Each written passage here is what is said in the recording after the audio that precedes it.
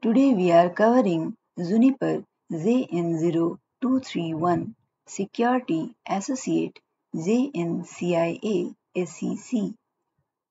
To find the complete list of questions and answers, please go to the playlist link provided in the description. Question is which of these is prioritized first? Option A Zone based security policy. Option B. Global Security Policy. Option C. Default Security Policy. Correct answer is option A. Next question is which of these is true about security policies? Option A. Security policies enforce a set of rules on transit traffic. Option B. Security policies enforce a set of rules on exception traffic. Correct answer is option A.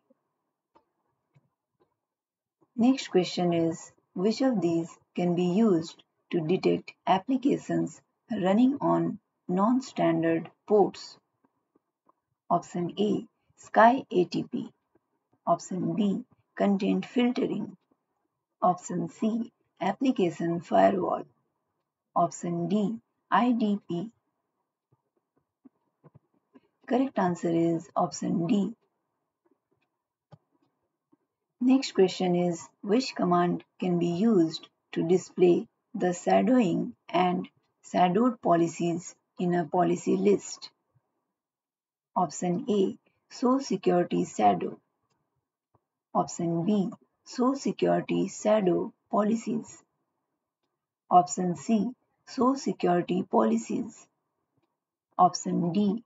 Show security shadow policies. Correct answer is option B.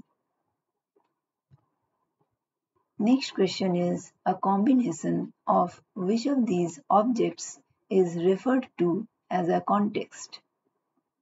Option A ingress interface and egress interface. Option B inbound route and outbound route. Option C from zone to zone from zone and to zone. Correct answer is option C. Next question is which of these about is true which of these is true about the reject action of a security policy. Choose two options. Option A. For UDP traffic, the reject action silently drops the packet. Option B. For TCP traffic, the reject action silently drops the packet. Option C. For TCP and UDP traffic, the reject action sends an ICMP destination unreachable port unreachable message. Option D. For UDP traffic, the reject action sends an ICMP destination unreachable port unreachable message. Option E. For TCP traffic, the reject action drops the packet and sends a TCP reset RST segment to the source host. Correct answer is option D and option E.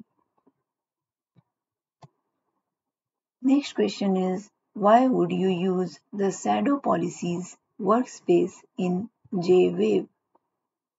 Option A to identify the least used security policies due to policy overlap. Option B to identify the most used security policies due to policy overlap. Option C to identify unused IDP policies due to policy overlap. Option D to identify unused security policies due to policy overlap.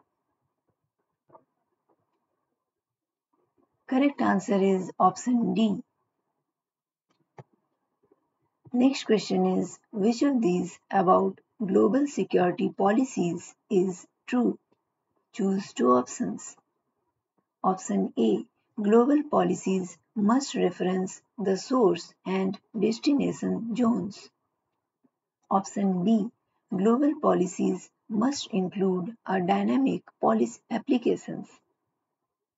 Option C. Global policies can reference the destination zone. Option D. Global policies can reference the source zone. Correct answer is option C and option D. Next question is which of these can be used to define a source or destination IP address assigned to a workstation? Option A address book entry. Option B subnet mask. Option C security policy.